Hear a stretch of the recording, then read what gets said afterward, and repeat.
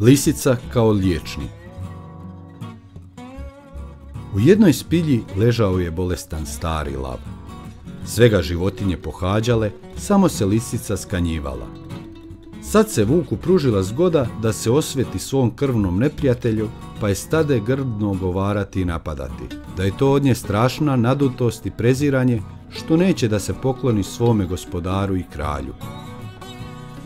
Dok je Vuk još govorio, dođe lisica, pa sazna da se tu radi o njenoj koži. Tek što je opazila kako je lav srdit, mahom se domisli kako da se opravda. Sasvim ponizno zamoli da bi slavom govorila. Dobivši s velikom mukom dopuštenje, reče Velikodušni kralju, nema doista životinje koja bi se više brinula za tvoj život od mene. Jedva sam čula za tvoju bolest, odmah sam se propitkivala i tražila lijek kojim bi se mogao izliječiti. Našla sam ga prije jednog sata. Čuši to lav, odmah se ublaže i zapita, kakav je to lijek? Omotaj svoj trbuh i rebra, reče ona, oderanom i još toplom vučijom kožom, pa ćeš ozdraviti.